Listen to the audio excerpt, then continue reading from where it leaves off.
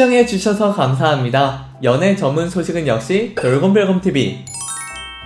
안녕하세요. 돌곰별곰TV입니다. 이번 시간은 가수 정승환 씨에 대한 소식을 전해드리겠습니다. 첫 번째 소식입니다. 가수 정승환이 예술의 전당 무대에 선다고 하여 화제입니다. 지난 4일 예술의 전당 아카데미에 따르면 정승환은 오는 10일 오후 7시 30분 IBK 챔버홀에서 네 번째로 열리는 시인 오은 씨의 소소 살롱 게스트로 합류했는데요. 본업에서 각자 시와 가사를 쓰는 동시에 팟캐스트 진행자와 라디오 DJ로서 활동해온 두 사람은 삶의 전환점과 개인 개인의 취향, 공통된 정체성에 대해 돌아보다 라는 주제로 관객과 함께 소통을 나눌 예정입니다. 또한 대담 주제마다 그에 어울리는 시와 노래를 선정해 관객들에게 특별한 사연이 담긴 낭독과 노래를 선보일 예정인데요. 이날 초대 손님인 정승환은 최근 EP 다섯 마디를 발표하고 발라드 세손으로 불리며 차세대 감성 발라더로 활약하고 있는 가수로 평소 시를 즐겨 읽는다고 하는데요. 정승환은 평소 종종 라디오 방송을 통해 청취자들에게 직접 자신 자신이 쓴 습작을 들려주기도 했을 정도로 팬들에게 시를 좋아하는 것으로 익히 알려져 있습니다. 이에 유인택 사장은 두 예술가의 대담이 문학과 관계 그리고 더 다채로운 예술을 잇는 새로운 창구가 되어주길 바란다 라고 말했습니다. 두 번째 소식입니다. 가수 정승환이 지난 3일 방송된 SBS 파워 FM 2시 탈출 컬투쇼에 출연하여 신곡에 대한 비하인드 스토리와 명품 보이스를 선보였습니다. 이날 김태균 씨가 이번 앨범에 엄청난 분들이 참여하셨다 라고 운을 떼자 정승환은 훌륭한 훌륭하신 분들이 참여했다. 타이틀곡은 서동환 작곡가와 함께 만들었고 가사는 유희열, 김이나 선배님께서 도움을 주셨다. 라고 소개했습니다. 이어 김태균 씨는 아이유가 작사, 작곡한 곡 러브레터를 선물 받았다. 라며 놀라워하기도 했는데요. 이에 정승환은 아이유 선배님께서 타 방송에서 정식 발매되지 않은 곡으로 선공개처럼 보여주셨고 제가 그걸 보고 개인적으로 커버해서 올렸다. 그런데 아이유 선배님께서 승환 씨가 이 곡을 부르면 어떨까요? 라고 하셔서 앨범에 실을 수 있게 됐다. 라며 곡을 받게 된 과정을 설명했습니다. 이어 팬 입장에서는 아이유 선배님의 앨범에 언젠가 이 곡이 실릴 것이라고 예상했는데 제 앨범에 삽입됐다 라며 감격스러워했습니다. 또 정승환은 뮤직비디오를 제작했는데 실제로 농인분들이 출연해 주셨다. 아버님께서 어머님께 수화로 이 가사를 말씀해 주셨다. 감동이었다 라며 뮤직비디오를 꼭 시청하셨으면 좋겠다 라고도 이야기하기도 했습니다. 여러분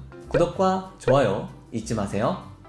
세 번째 소식입니다. 가수 정승환이 이번에는 자꾸 춤을 춰서 골반이 탈골될 것 같다고 하여 화제인데요. 정승환은 지난 3일 방송된 MBC FM4U 정호의 희망곡 김신영입니다에서 게스트로 출연해 이야기를 나눴습니다. 먼저 김신영 씨가 오랜만에 정의에 출연한 정승환을 소개하면서 정승환 씨 최근 소식에 자꾸 춤이 뜬다. 태민 씨의 무브를 또라고 말했는데요. 이에 정승환은 요즘 골반이 탈골될 것 같다. 어쩌다 보니 자꾸 춤을 추게 됐다. 시작은 유희열 선배님께서 진행하시는 유스케였다라며 사실 몇 년 전부터 콘서트에서 춤을 많이 추기는 했다라고 고백하기도 했습니다. 그 후 갑자기 노래가 흘러나왔고 쑥스러워하며 주저하던 정승환은 이내 180도 달라진 모습으로 춤 실력을 선보이며 의외의 반전 실력으로 모두를 놀라게 하기도 했습니다. 이어 정승환은 새 앨범 타이틀곡에 유희열, 김이나 씨가 작사 작곡을 맡게 된 배경에 대해 말했는데요. 정승환은 오래전에 만들어놨던 곡이다. 처음에는 오래 같이 작업한 친구가 있다. 저는 저는 짝사랑 주제로 생각을 했는데 친구 사이에서 한쪽이 특별한 마음을 품고 있는 설정을 넣어보자고 했다며 그 테마를 먼저 제시한 것은 유희열 선배님이시다. 대표님이시고 총괄 프로듀서이시니까 김이나 선배님 도움이 정말 컸다라고 밝혔습니다. 이후 한 청취자가 승환 씨 이번 뮤비에서는 청춘 영화를 찍었던데 연기에 도전하실 생각이 있냐? 라고 물었고 이에 정소환은 연기를 하기에 너무 훌륭하신 분들이 많고 터무니없는 실력이다. 다만 연기에 도전하기보다는 노래를 위해서 연기를 배워볼까 라는 생각은 했다며 적어도 내 뮤비 안에서는 덜 어색해 보여야 하니까 라고 답했습니다. 뮤비를 보면 정승환은 연기도 잘할 것 같네요. 화제가 되었던 가수 정승환의 소식을 전해드렸습니다. 여러분께서 응원하시는 정승환의 소식은 앞으로도 계속 이어질 예정입니다. 여러분들의 좋아요와 구독은 큰 힘이 됩니다. 열심히 노력하겠습니다. 지금까지 돌곰별검TV였습니다. 감사합니다.